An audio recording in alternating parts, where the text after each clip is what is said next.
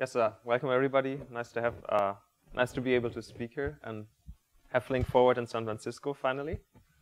Um, this talk is about sharing some experiences um, in running running Flink at um, a large scale, and so the talk is is going to be kind of a, if you wish, a mixture of just a bit of a, few stories of things that we learned when we when we thought, you know, ah, of course we know how to build a scalable system. That's what we do, and then it turns out like, oh, okay, well, that's not what you can do. Um, and, and, and, and how, how certain features kind of evolved or are evolving. Um, other things are just like best practices that, that, that can help you know if you run, if you're actually rolling, rolling it out at large scale and you're running into certain issues, you may recognize and like a, have, have an idea for what to, what to do about them. Okay, so it's kind of a, like I said, lessons learned at large scale together with various things that we thought should work and didn't. And what, what we can do about them. And um, as part of that, it's also kind of a preview of a, of a bunch of fixes that are coming up in Flink that are partially in there, coming up in 1.3 or like as part of the longer term roadmap. All right, so um, let me quickly say um, a few points when, when we say what, like running Flink at large scale, what does that actually mean? Because, you know, there's, there's various dimensions to it. One is, one is clearly large data volumes, events per second.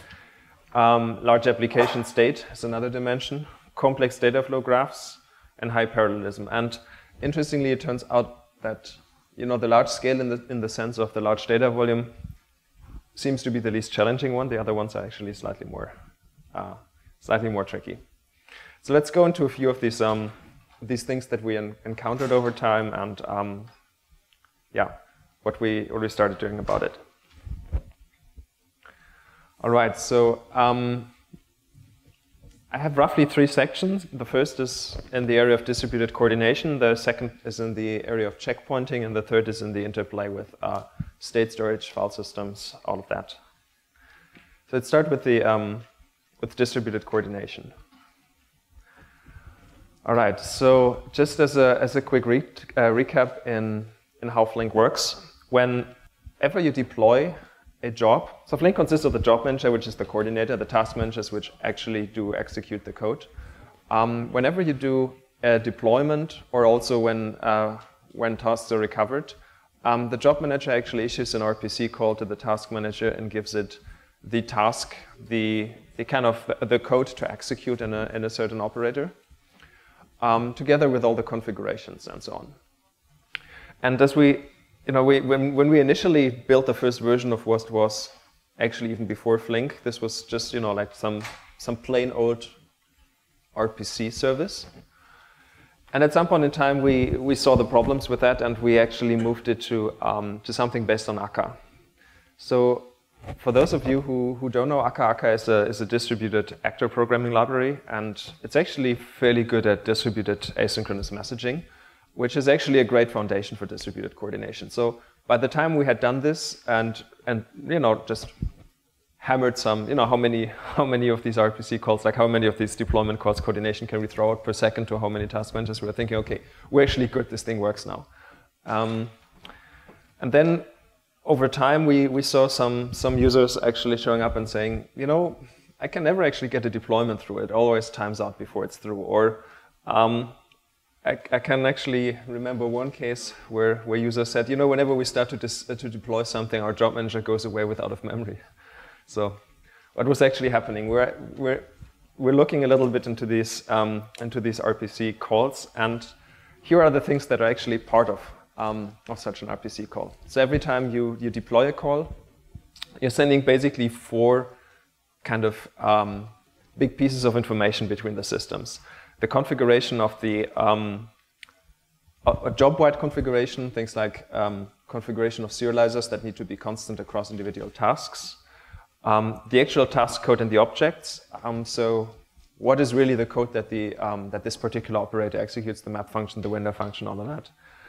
Um, something called a recovery state handle, which is basically a pointer to, to the state that the operator should start from kind of the, the checkpoint that it up, could, uh, should pick up. And then a bunch of like IDs or correlation IDs. These are basically just um, identifiers just to make sure that every time you're interacting with different um, processes. You're, you're, sure you're talking to the exact right one. Um, within you know leader election that changes um, between um, between nodes, you know recovery that you, you connect to the right execution attempt of the other tasks and so on. And you know in in the usual case these things are all kind of small, but it can actually be that some of them don't end up being as small as as we initially anticipated to be. So the, the configuration objects that are sent around, the recovery state handle, the correlation IDs, these these are all in the order of a few bytes or a few kilobytes, but it, it actually turns out that this task code and objects, they can grow a lot larger than we initially anticipated. And um, the reason for that is, I guess, in, in mostly two parts. First of all, um, whenever you deploy whenever you deploy a task, it contains basically all all the objects that are needed as like as auxiliary code for this task to run. That includes actually, um, you know, like serializers and everything to pick up data from state, to pick up data from the network streams and so on. Um, these can occur in like variable uh, various instances, especially if you have long chains of operators together. They can have a lot of serializers, different serializers, which actually add up in their in their configurations um, to to quite a bit.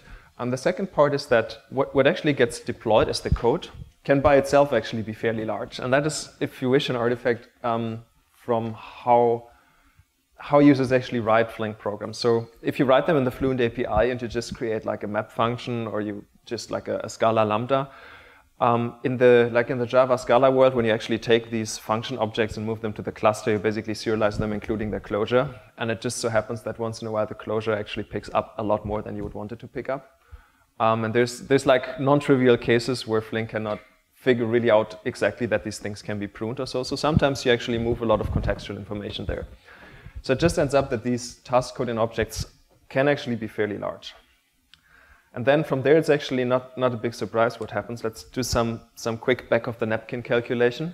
The number of RPC calls that you actually do, or the RPC volume in the end, is the, the number of tasks um, times the, the parallelism that you have, times the size of the state objects. Let's ignore the other parts of the, um, of the RPC calls um, for a bit. And then if you actually, if you actually look at a like, non-trivial um, non-trivial Flink job, you, you, can actually see if you multiply this that you end up at an RPC volume of roughly 20 gigabytes when you're trying to deploy a job. So that that's quite a bit, actually. That is uh, like a bit more than, than was our, our initial guesstimate. So let's actually see if you if you do this RPC deployment, how long does it does it take for all these operators to, to actually arrive on the task managers?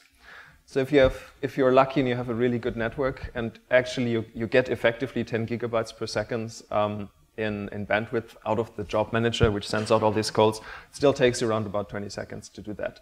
Um, I'm assuming here with a 10 gig network, you're transferring around about a gigabyte in the end per second.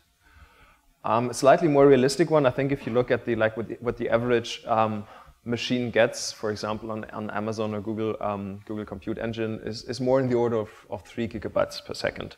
So you're like already at the point that you're, it takes you a minute for the job manager just to send out all the RPC messages, and then nothing else has yet happened. Or yeah, on an on a network like one gigabit per second, it actually takes you three minutes to to throw those out. So Putting that in context with the fact that the default RPC timeout is actually 10 seconds, it's pretty clear, clearly obvious why, you know, why actually once you start doing this at a, at a bit larger scale, um, we've been seeing a lot of times that, you know, I'm, I'm not getting through any, any job deployments, what's happening. So um, that's kind of the result. There's a, there's a, um, I mean, the good news is this, this does only happen if you combine, if you wish, if you wish heavy pipelines, which have a lot of very big stateful objects with a very large parallelism and a decent number of tasks. But if you actually find yourself in that situation, um, what you need to do is, at the moment, increase the RPC timeout. Um, there's a bit of a caveat, just don't, don't set the RPC timeout to whatever, like five minutes, you know, to be on the safe side, because the RPC timeout is not the only um, failure detection mechanism, but it's kind of, it's one variable in the failure detector. So you don't want to set it just arbitrarily high because it can make failure detection in some cases um, a bit slower. And um, the the long-term um, fix that we actually want to want to introduce into Flink to make the whole RPC system more scalable is, um, I'm starting with that on the next slide. So if you actually look at what is, um, what is involved in all this uh, messaging, um, I mentioned these four parts like job-wide configuration objects, um, the task code, recovery state handling correlation IDs. It turns out that half of them are actually constant across both parallel subtasks of the same of the same operator and across restarts of the operator um, uh, across failovers. And only only some of uh, of that information is variable, and that that is fortunately actually the very small part. So what is upcoming in Flink? It might actually just make it into 1.3. Um, is a way to actually have a good part of these messages being transferred out of band, so it's not part of the RPC service anymore. And uh, you, can, you can think of it like that. Um, so Flink contains something called the blob server and the blob cache, which is part of the like distribution system for large, just large binary objects. They're currently mainly used to distribute uh, libraries if you're in a situation where you use dynamic code loading. And um, the way that, that we're changing this RPC system is actually that the constant parts, like the config and the task objects, are actually put into the blob server, from the job manager, and then the RPC call only contains recovery state handle correla correlation IDs and uh, basically the blob pointers to the task manager. That reduces the message size of an RPC like reliably to a few kilobytes. Um, and throwing out, throwing out a few ten thousands or hundred thousands of messages actually of a few kilobytes is something that Akka in fact can actually handle. And then what, what becomes part of the, of the actual task execution. Um, once the task starts on the task manager, it will look into the blob cache. Similar as it, it looks into the blob cache to see that it makes all the libraries locally available that it needs. It will look into that cache and see that it also makes the kind of the state objects, the configuration objects, and so on available if they're already there, which, you know, as, as you actually redeploy, um, you'll actually find them there. But the first time you do this, you'll actually um, pick them up from the, from the blob server. So what that means is that the very first time you actually deploy a job, you will see that um, you'll see that the RPC messages get through quite fast. What you will what you will see is that the tasks spend these extra um, these extra um, bits of time to actually download uh, the data. And the the thing that is worth mentioning actually that the blob server and the blob cache are in in 1.3 also not necessarily a, like a centralized thing anymore. Not everybody downloads from the job manager, so um, for example, if you run this on a, on a high availability setup with uh, HDFS or S3, then the blob server actually caches its artifacts in HDFS or in S3, and the blob cache will directly pull them from there. So you're kind of getting the benefit of using the, using the distributed file system for artifact uh, distribution, which means you're getting more than the bandwidth of just the, the job manager to distribute them as well. So yeah, we'll actually uh, move the small parts to the, the RPC services and the large parts to the, to the kind of distribution of uh, distribution out of band distribution. All right. Um, that's kind of my favorite topic that's coming up now. How do we actually, how, what are some of the experiences or lessons learned when, when doing checkpoints at scale? And um, it's, it's my favorite topic in some sense because I think one can say that robustly checkpointing is probably the most important part of running a large Flink program. So if you if you just take your Flink program and you know throw it out uh, without checkpoints and just you know hammer it with a lot of events per second, hammer it with large state, that by itself usually just runs. Um, the the thing that that you need to get right is make sure that the that the checkpoints actually reliably go through. Once you have that, then you're, you're set. And in order to see what um, what exactly um, what exactly are some of the like experiences in running this? What are the what are the things to watch out for? Let's actually quickly recap the checkpoints and then look a little bit into what, what Flink exposes as information from the individual checkpoints, how to interpret that, and what are the, the things that, that, are, um, that are important to watch out for. Okay, so, so just a quick recap. When, when Flink does a checkpoint, it basically um, consists of a few things. The the master node decides to do a checkpoint, it will send these notifications to the sources that inject the checkpoint barriers. The checkpoint barriers flow through the sources, and as they pass through operators, they trigger state snapshots. Um, conceptually, how exactly, for example, state snapshots work and so on depends on the concrete implementation of the of the state backend. So, from a from a very abstract principle, barriers go in and flow through trigger state snapshots. let's look at one aspect to, to the checkpointing, which is kind of the, the more, um, it, it's, a, it's, it's a bit of a detail, but it actually turns out to be like really important to understand what, what really happens there, and that is um, checkpoint alignment um, at operators. So in order to get exactly once guarantees, um, you need to make, or Flink needs to make sure that what is accounted for in a checkpoint is exactly all events that are before a checkpoint barrier and no event that is after a checkpoint barrier. That way the checkpoint barriers divide the data into pre-checkpoint, post-checkpoint genera generation. Those align exactly with the Kafka offsets, those align with the, with the snapshots in the state and so on. And if that all aligns and you restore it, for example, completely aligned, then, then this is what gives you exactly once guarantees. It's also what gives you the, um, what gives you the view of even though even though something goes down in a like in a non-deterministic computation, if you bring it back up, it will still look like one valid failure-free execution path. So this alignment phase um, consists of, if you wish, this, uh, this checkpoint alignment consists of various phases. So when you when when something um, when a checkpoint starts and the first stream arrives um, with its barrier at the operator, the, the first checkpoint barrier arrives, then that operator will start beginning the alignment. And um, it, will, it will actually remember that it has seen the barrier from that stream, and it will wait for the barriers from the other stream.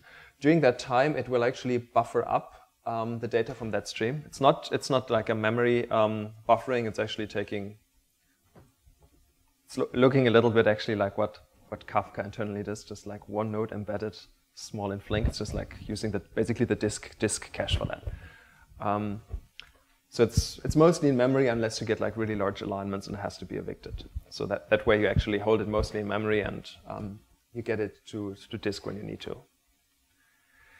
So why do we actually do this kind of buffering, right? Why don't we just block the inputs and say, hey, hold this off until, um, until we've actually seen the barriers from other inputs. There's, there's one like small detail why you need to do it, and that is certain that is certain tricky topologies that, that end up actually where one operator forks off sending multiple downstreams which are joined in complex fashions, um, yeah, further downstream. In, in these kind of situations, um, the philosophy in Flink is if you want to completely avoid deadlocks in these kind of situations, you have to, you, you cannot, you, you're, never, you're never sure that you can actually block a downstream operator because it might actually um, result in back pressure along certain paths that will effectively, if you wish, reside in like cyclic, cyclic waiting, which is the distributed deadlock. So even though no, most topologies don't quite have that characteristic, just to be on the safe side to say, you know, we're not actually giving you a checkpointing mechanism that can, in the worst case, actually lock up. Um, it actually starts buffering that on the input side. And that continues until all uh, barriers have been seen from all, um, from all inputs. And then um, once that happens, the downstream barrier is evicted and the snapshot is taken, and then the, the buffered input is actually um, uh, taken and, and replayed into the operator and downstream. So that's kind of a critical thing to understand. Um, okay, let's look a little bit of um, into into the checkpoints and like when you run checkpoints, what what are points to watch out for? So I apologize. These are not actually screenshots from from from an at scale thing. I, I just copied them yesterday evening from the from the Flink docs. So they actually refer to kilobytes of state, but you know, like the counters in there are, are kind of like the the fields that that are interesting for us to look for are the same. So um, this is actually yeah, it's actually a screenshot from the Flink checkpointing um, UI, and so every everyone who runs a Flink job at large scale, I can only like warmly recommend to make make use of that UI to if you want to understand if your job is healthy, it's actually it's a really nice one. It contains a lot of information and it contains really exactly the information that you need to to actually get an assessment if something goes wrong. Um, what went wrong? Yeah. So this is basically the overview um, for one checkpoint. In this case, it was checkpoint four. It gives you kind of a, a summary where um, where the checkpoint is. This one is completed. Um, how much state was involved in the checkpoint? How long did the checkpoint take? Um, how much was, uh, how heavy was the alignment, and so on. So if you actually find yourself at the point that you that you think, okay, something might be up with a checkpoint, um, you should look into that UI and then into the individual operators to see what operator is actually the one that has a has a problem during checkpointing. So these numbers are the ones that, that give you a rough overview of whether something is, is good or bad. So this one's actually a good checkpoint. You know, 15 milliseconds is, is a decent end-to-end time. Okay, it was also a pretty small state. Um, kind of small bu data buffer during alignment, so everything is fine. Let's assume it was not fine, and we'll actually have to look into the subtasks. So in that case, we would look into, into the second one, um, which is the one that actually has, you know, has some alignment, um, has some state. If we look into that, into the details of that subtask, um, it will tell us actually for, or into that operator, it will kind of give us an overview into um, what were the minimum, average, maximum um, like metrics encountered in each of that checkpoint. For example, what is the synchronous duration of the checkpointing? What is the asynchronous part of the checkpointing? How long did the alignment phase take? How long, um, how much data was buffered in the alignment phase? There's also um, a view that basically then tells you for each individual subtask, uh, how long did that one actually take? How much data did that buffer? But in most cases, you're actually okay, just you know, looking at the summary at the minimum, average, and maximum. So let's go through all of these things and, and try to understand them a little bit. Alignment buffered and alignment duration kind of gives you an, um, an overview of how well did the checkpoint alignment um, behave. The lower the number, the better. I mean, having having nothing in there, like zero uh, bytes needed to buffer an alignment, alignment took zero milliseconds. That's that's kind of ideal, but you'll not you'll not see zero at, at, at large scale. But you want to see like low milliseconds and ideally few kilobytes to at max a few megabytes of, of state buffered in alignment. The second part is how long did the actual snapshot take? So how long did it take for that particular operator once it started the snapshot to materialize its state, to persist it, to make it durable and recoverable? And then there's kind of a, a number that is not explicitly in there, but it's, it's kind of easy to compute, which is how long did it actually, how long was the checkpoint delayed in the operator from when the master actually triggered it? So the, the job manager decides to do a checkpoint, and then at some point an operator takes the snapshot. But it it may be quite a bit later, and that, that would be the delay. So you take the end-to-end -end duration, subtract the synchronous part and the asynchronous part, and then you see um, what the delay is. So in that case, for example, the minimum delay would actually be 8 milliseconds. So the synchronous and asynchronous snapshot took, took nothing. There was also nothing in the alignment. So yeah, the delay from when the job manager decided to do the checkpoint to when the downstream operator actually did it was 8 milliseconds. And these 8 milliseconds correspond to how long does it take from uh, the job manager to send out all the RPCs, for the RPCs to arrive, for the barriers to be injected, for the barriers to flow through the streaming graph, to, you know, to, to mark the state and everything. So let's, um, let's quickly understand each of these numbers and, and what they mean. So if you have actually a consistency lo consistently long delay, like end-to-end -end duration minus sync minus async is a long value, and that is, it's not just for one checkpoint, but it's consistently high, it, it typically means that your system is operating under back pressure, right? So you, you, for example, have a slow sink that you cannot keep up with, and the data starts queuing up in Flink, in the Flink network stack, which means when the checkpointing um, inserts a barrier, that barrier cannot travel as fast through the system as, you know, as the system would otherwise allow it because it, it's, the barriers are back pressure too. The checkpoint barriers cannot overtake data. Um, otherwise, you would violate exactly one semantic. So they, they have to flow with the data. And if if, the, if there's back pressure and the data flows you know, slower because of, let's say, a slow sink, then the barriers flow slower as well. So that, that usually means you're under constant back pressure and you, are probably in an under-provisioned system.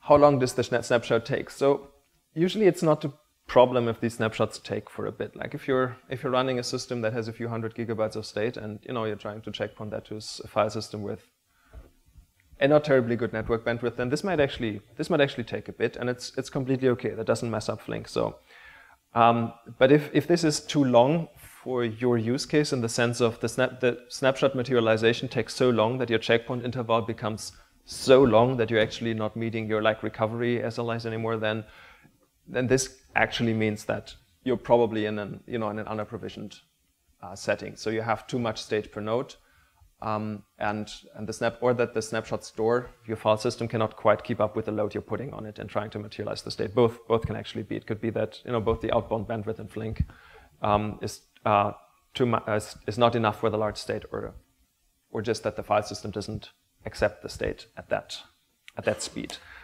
This is something that we expect to actually greatly change with the next release with incremental checkpoints, where where only the changes since the last checkpoint are stored. So um, this should go in general down for, for all jobs that, that make use of incremental checkpointing. But like as I said at the beginning, if, if you're okay with your checkpoints being, let's say not every few seconds, but if you're okay with checkpoints like every minute and you take, you take half a minute to materialize the state and so on, if that's not a problem for you, then that is not per se an issue because especially if this, is, if this is part of the asynchronous um, snapshot materialization, it doesn't really impact the, the progress of the job. The most important metric of all of those is actually the, the alignment duration. So keeping, um, keeping an, an, eye on that one, that that one is, like, is consistently low is something that, um, that, is, that is important. So why, why is that? Why is that the case? Um, so alignment basically is affected by all in-flight data you have at a, at a certain point in time. So imagine that the different sources are injecting their, their checkpoint barriers. And in the worst case, let's say one, one leg of the program, let's say you're doing something like a join here, and one path has a lot of data being, being in flight and the other one nothing. That means that the, the barrier on the side that has no data in flight immediately reaches the operator, and the other one on the leg that has a lot of data in flight will have to wait until all that is consumed. And the, the amount that these barriers can, can go apart is, if you wish, exactly the maximum amount of in-flight data that you're, that you're allowing. So in-flight data being data that is either on the wire, this can actually be a significant amount of data on a, on a 10 gig Ethernet wire at any point in time. Um, and also um, the amount of network buffering capacity that Flink by itself has, the, this um, magic network buffer parameter. So you do want to allow for some amount of in-flight data at any point in time in a streaming program because the capacity to have some in-flight data allows you, allows you to buffer across like um, issues in the network. So there's, for, for some reason the capacity of one link like drops for, for a second or so, go, goes really low and you, you, you, don't want this to immediately also slow down your producing operators. Um, or you know a downstream machine is in a, in a, in a GC or so, and you but you don't want this to immediately like synchronously affect the um, the upstream operators as well. On the other hand, you, you don't want the amount of in-flight data to be infinitely large because the amount of in-flight data kind of determines how far away the barriers can at most be, which is what, what is the maximum amount that can, uh, can happen during your alignment. So actually getting, um, getting a good number for that is, if you wish, one, one of the slightly magic settings in Flink 1, 1 and 1.2. If you want to run it at large scale, I'm very happy to say that in 1.3 we've finally eliminated that thing. So um, you don't have to do this anymore. It's kind of, yeah, it's, it's, it becomes an auto-tuning parameter. So if you're running if you're running Flink 1.2 and you want to come up with a um, with a good setting to run it at, at larger scale, I would say do a rule of thumb calculation to set the number of network buffers roughly to to something like four times num shuffles, num, num parallelism, um, slots you have in your in your task manager. That is a that's a good start. Um, if you're if you're running um, if you're going to 1.3, then you don't have to worry about this anymore. Like the the channels tune themselves uh, automatically using some heuristic based on the connections involved in the transfer step, and um, yeah. So. Let's let's stick with the issue of checkpoint alignments uh, once more because that it, it, really is the like the the thing to um, to bear in mind when you're running large scale checkpoints. So once in a while, um, there's going to be an expensive alignment in Flink, um, and it is it's something that's like almost unavoidable to once in a while happen because it, it does happen as soon as the as the different paths have have like vastly different characteristics. So let's let's assume something like that. Um, we're having a topology here, some some join here, some sources here. There's a there's a pretty big window here, and let's assume it's kind of it's an hourly window, and you're accumulating a lot of, of data, and at some point the hour fires and the data goes downstream. And this happens concurrently with a checkpoint.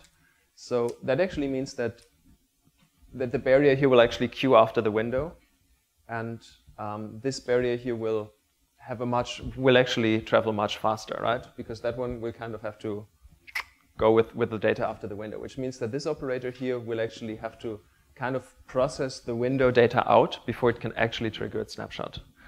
So Um, so once in a while, this um, this does happen. Um, another reason why this can happen is that you know you, you may have just like a, a setup where where a bad GC stall happens just concurrently with a checkpoint. So um, if you get a bad alignment once in a while, that's actually not a not a big deal, right? It's, it's, it doesn't really kill the checkpoint. It, it will go on. The only thing that, that you really want is that the system actually catches up from the heavy alignment after a while. Because if it doesn't, if you don't basically give it the chance to catch up from that alignment, it will actually kind of make the next checkpoint alignment heavy as well.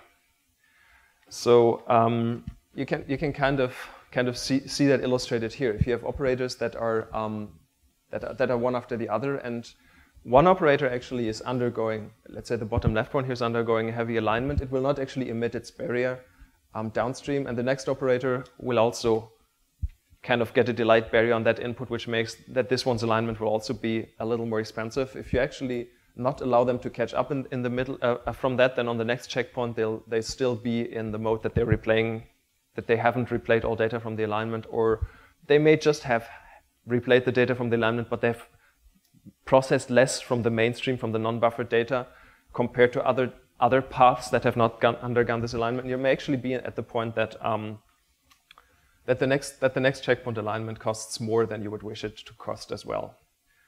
So um, yeah, the the main thing to make sure there is like I said, give, giving them some time to catch up before starting the next checkpoint. And there's actually some very simple ways to do that. So um, it turns out that, that uh, a very useful parameter is um, to set the minimum time between checkpoints um, for Flink. So it, it's, almost, it's almost like you want to configure checkpointing that way and not based on the checkpointing interval.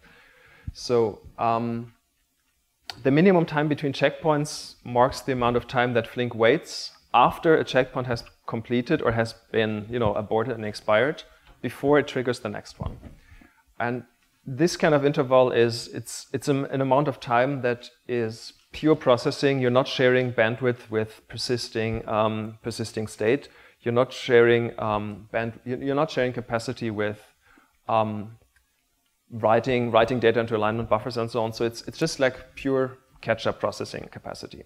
So a, a, kind of a kind of nice trick, I think, to configure the checkpointing for, for heavier setups is set the checkpoint interval to whatever you want, as low as you want it, maybe a second or so, and then and then really think about what what do I what do I actually want to to give the system as like as, as pure processing time. Maybe I want to give it like 15 seconds of like pure progress between checkpoints and then set the minimum pause between checkpoints to 15 seconds. And then it will actually, it will trigger its checkpoint such that if the checkpoint happens to, if one checkpoint goes bad and actually takes 30 seconds, it will not actually trigger the next checkpoint immediately because let's say your checkpoint interval was 15 seconds before. Regular checkpoints go five seconds, you have 10 seconds of progress, five seconds of checkpoint, five seconds of progress. But all of a sudden a checkpoint takes 30 seconds and you would actually immediately trigger another checkpoint after that, what, afterwards, because you're already after your checkpoint interval and you would have to to immediately trigger one as well. Uh, configuring it such that you say, okay, I actually want 15 seconds of progress, and then, you know, whatever the checkpoints take, the checkpoint interval kind of adjusts to accommodate for that, for that yeah, pure progress time.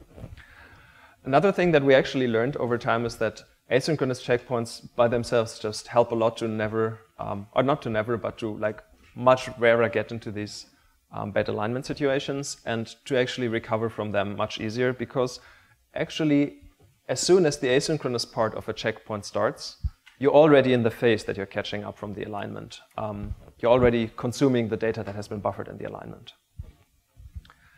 So let's, let's quickly look into asynchronous checkpoints because that's, if you wish, in, in the checkpointing side, one of the big lessons learned is if we, if we want to like, if you want to go really, uh, really big, the best the best thing we can do is basically make everything that can be possibly asynchronous asynchronous, and that is that's one of the um, kind of the big development threads right now. So an, an asynchronous checkpoint means that at the point in time when the barriers reach the operator and they, they trigger a snapshot, they're actually not pausing to materialize that snapshot. What they're basically doing, they're just tagging the version of the data in there um, it's kind of a it's a cheap metadata operation, and then it continues processing, and then there's a background thread that actually takes that and materializes it. So for um, that's for example how it is implemented in in Flink 1.2 in in RocksDB, and in Flink 1.3 also for the um, for the main memory-based uh, state backend on the Java heap. So in Flink, in Flink 1.2.0, uh, if you're using the, the memory state backend, snapshots are synchronous in one-to-one. There's kind of a hidden way to activate the asynchronous parts, kind of like a like a beta feature. And in, in Flink 1.3, I think we're going to make this the, um, the, the default mode so that, that the main memory state backend also does asynchronous snapshots. Um, similarly, if you use um, operator state, so in operator state in Flink, so state that is not um, that is not bound to keys on a keyed stream, but state that just corresponds to, let's say, um, that corresponds to parallel operator instances. State that you keep in the, let's say, keep in the just as regular variables in the functions of your, um, yeah, of your map function, of your process function, and so on. Um, these will actually be asynchronously materialized in Flink 1.3 as well.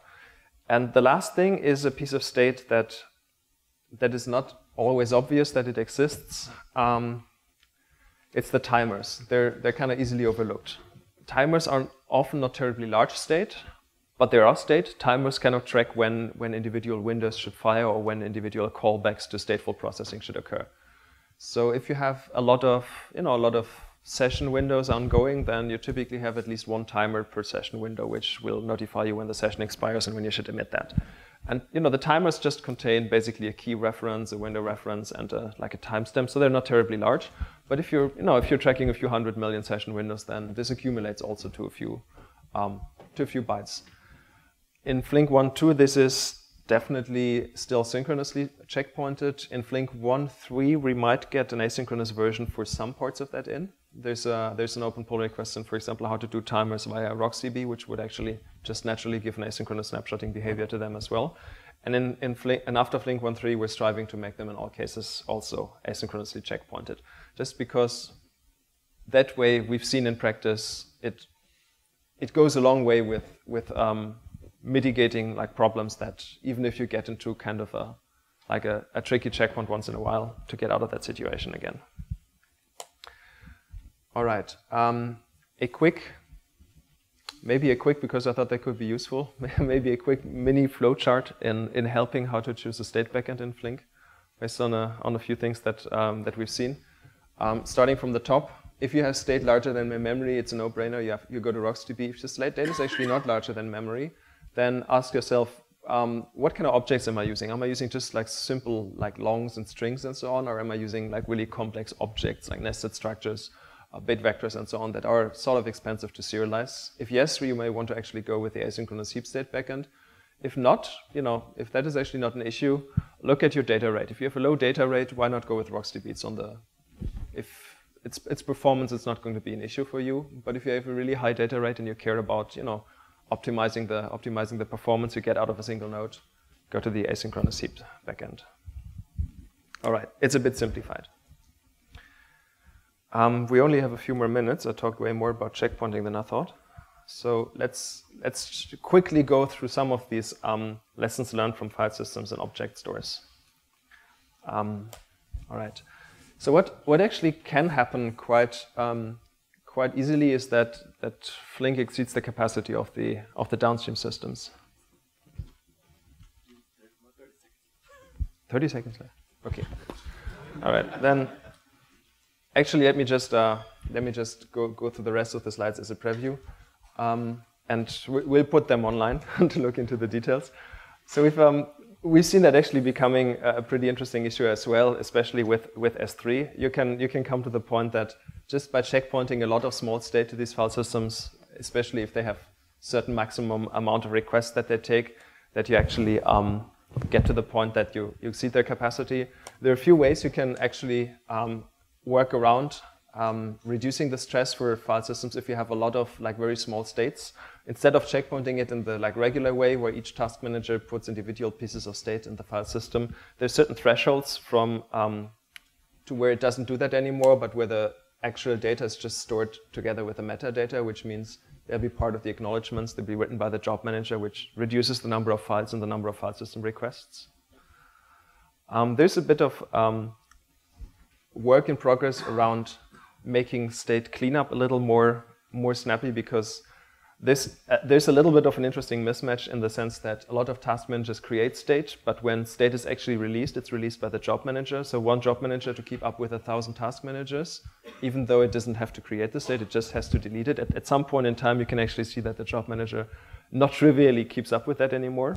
So um, there are a few things that we're, um, that we're working on, we're implementing to actually take care of that. And there's also a bunch of work in progress to actually make sure that when state is actually written, it's handed over between task managers and job manager and written. There's, there's certain situations, like if a process crashes just in time, then there's no one that really owns that state anymore, so it's actually going to, to stay there. There's no one whose responsibility it is to clean that up. So there's um, kind of work in progress to, to make sure we're, um, we're sweeping the, the, the checkpoint storage and making sure that these orphans, orphaned things are discovered. Let's actually keep it at that and just see, see if we can take some questions. I'm sorry, it was, it was too much material for one talk. All right, thanks, Stephan. Really appreciate you.